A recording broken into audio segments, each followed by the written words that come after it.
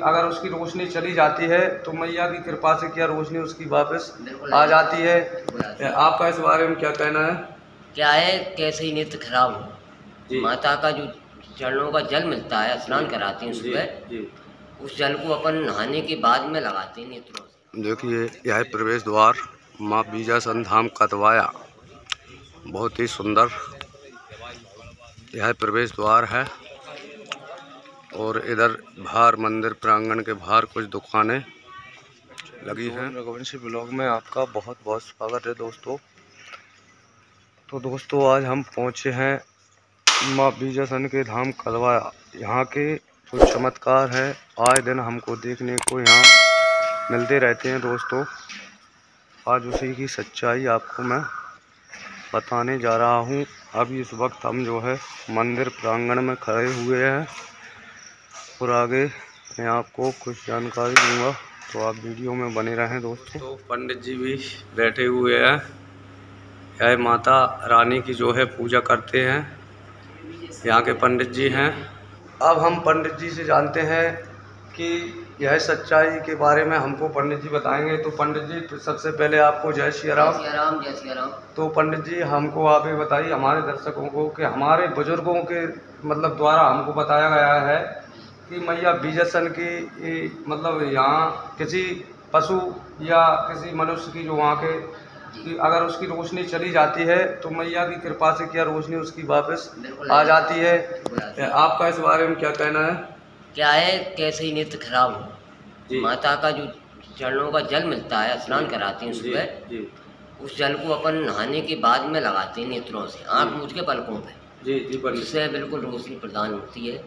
मैया की यहाँ महीना में दो चौदस लगती हैं। जी। पंद्रह दिन में एक। जी। तो माँ की जो है चौदस बोलना पड़ता है।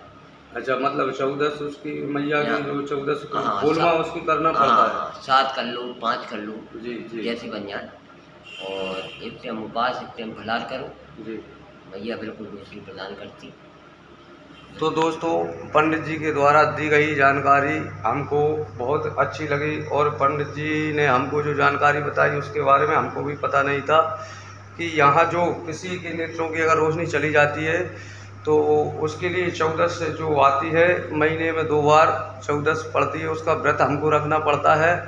और इसके बाद में मतलब चौदस हमको यहाँ आकर के मैया के दरबार में चौदस के दिन आकर और मैया के दर्शन करने हमको पड़ते हैं। यहाँ से पंडित जी द्वारा हमको जल दिया जाता है और उस जल को जो है हम घर जाकर अपने या किसी रोगी के नेत्रों में हम जाकर छिड़कते हैं स्नान करने के बाद में तो उससे आँखों की रोशनी आ जाती है।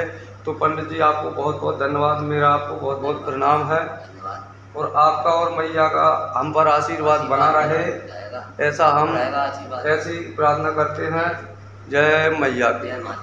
तो पंडित जी हमको प्रसाद देते हुए बोलिए, जय विजयसन मैया की जय हो। इधर कुछ भक्त लोग और आ गए हैं मैया के दर्शन करने के लिए। आप देख सकते हैं दोस्तों, यहाँ काफ़ी भक्तों की जो है भीड़ लगी रहती है। आए दिन यहाँ भक्तों का जो है हमको दर्शन करने को मिलते हैं। भक्त काफ़ी मात्रा में यहाँ आते हैं दोस्तों। और मैया सबकी मनोकामना जो है पूरी करती है। तो दोस्तों, अब हम चलते हैं मंदिर प्रांगण में, बाहर की ओर। तो दोस्तों, काफ़ी श्रद्धालु मैया के दरबार में आए हैं। मैया का दर्शन करने के बाद और मैया के दरबार में माथा टेकने के बाद में दर्शन करके घर जा रहे हैं। तो आप भी कुछ कहना चाहेंगे? नहीं हम तो पहली बार आए अच्छा आप पहली बार आए हैं। आपको यहाँ आकर के कैसा लगा?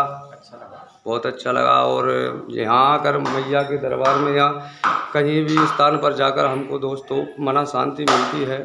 सभी भक्तों को अच्छा लगता है।